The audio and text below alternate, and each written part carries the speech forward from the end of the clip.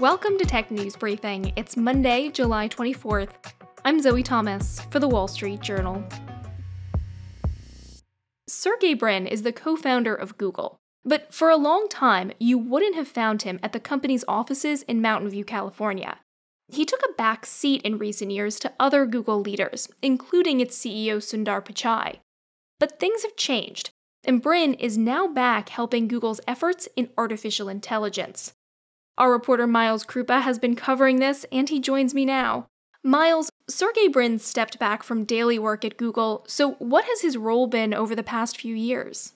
Yeah, I mean, technically on paper, he was a board member. So he sat on the board with Larry Page, the other Google co founder. And together, they still controlled a majority of the voting power in the company. But after they stepped down from executive roles in 2019, they really didn't have any day to day function at the company itself. But now you're reporting he's back in the office. What do we know about what he's been doing? We heard from a few people that Sergey is basically in the office at least three to four days a week and it seems that he's spending a lot of his time with artificial intelligence researchers who are working on this one project in particular called Gemini. And Google has built these really large artificial intelligence systems in the past, but Gemini is promised to be bigger and better than all of them.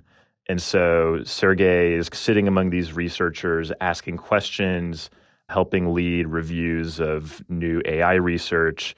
And also, crucially, he's helping to hire some really highly sought after AI researchers. You mentioned he's working on this project Gemini. How important is that project to Google's AI efforts? Google is certainly positioning it as critically important. And our understanding is that Google wants to get this out by the end of the year. And the goal is to basically create this really general purpose AI model that's super powerful and can be used for all sorts of tasks. Things like generating text, like what you see in ChatGPT or Google's Bard, or even images and maybe video. Google has talked about it being, quote, multimodal, which means multimedia, basically.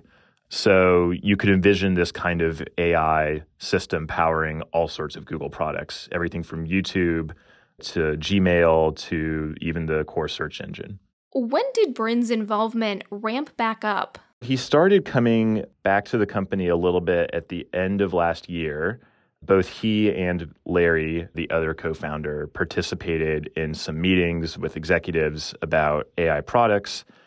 But it's really over the past few months that Sergey, in particular, has been spotted much more frequently.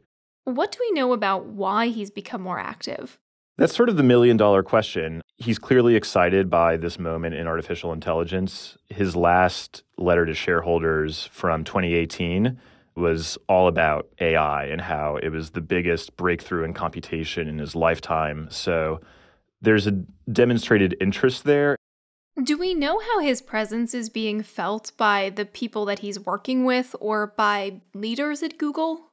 Our understanding is that he's not really up to speed on all the technical details of the latest and greatest in AI. So he's not really coming in and, you know, exerting significant influence over technical matters, over the code that goes into these projects.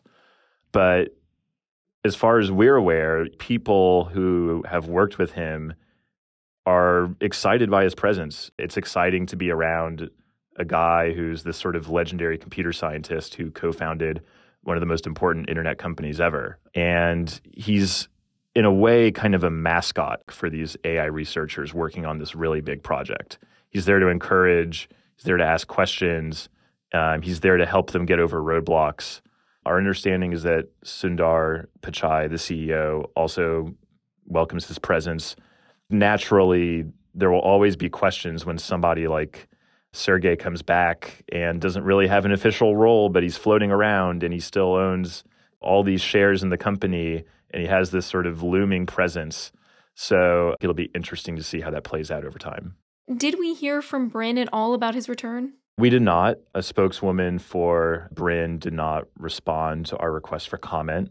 But we did hear from Google. The company said he does not have any new formal title. He is still just co founder and board member. Co founder, board member, guy floating around the AI office. What do we know about the other co founder, Larry Page? Has he taken a more active role recently? Larry was sitting in on some of the same AI meetings late last year, but in general, nobody's really seen Larry around the offices in the same way they've seen Sergey. Larry suffers from a rare vocal cord paralysis, and that's sort of affected his public profile over the years. And he's generally just been a bit more reclusive than Sergey, even on the sort of tech social scene. All right, that's our reporter Miles Kruppa, who covers Google. And that's it for today's tech news briefing. If you want more tech stories, check out our website, WSJ.com. I'm Zoe Thomas for the Wall Street Journal. Thanks for listening.